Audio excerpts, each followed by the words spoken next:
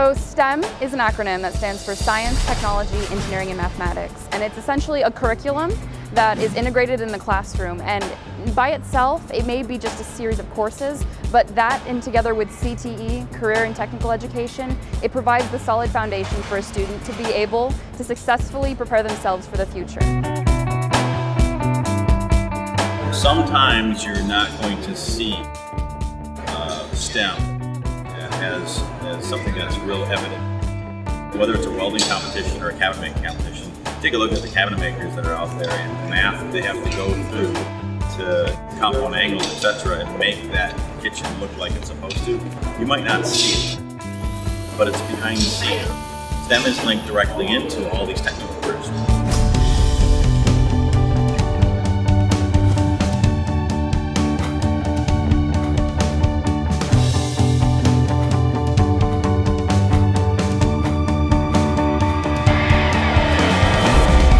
like metaphors, think about it as a tree. You can't have a tree without the trunk. So STEM education, science, technology, engineering, mathematics, is that solid foundation in the trunk in a tree. And from that tree, you have your branches and all the different careers that could come from it.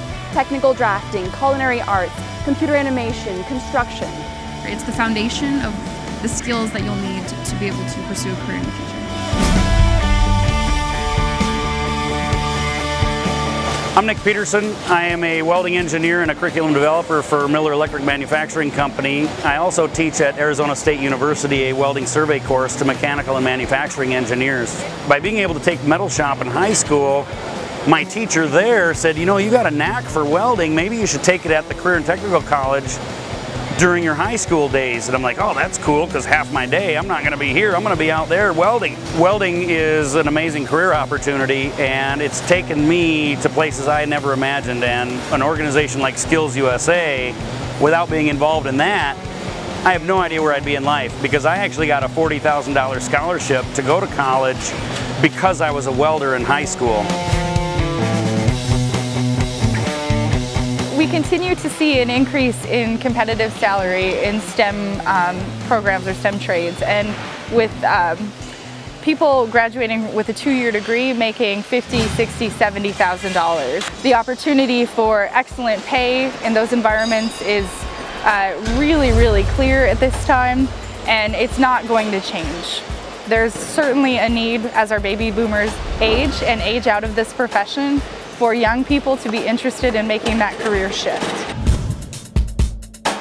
Skills USA from the start has always been a national nonprofit organization supporting students in career technical education courses. Now what's so great about that is that since science, technology, engineering, mathematics is so well integrated in CTE, you see it everywhere from culinary arts computer drafting, everywhere STEM education and CTE are two pieces of the puzzle that are creating a stronger workforce in the future. This is what we're talking about. We're talking about having real world uh, work that represents things that you can do with life. These folks just came out of all welding application competition. And this is what it looks like to do hard work.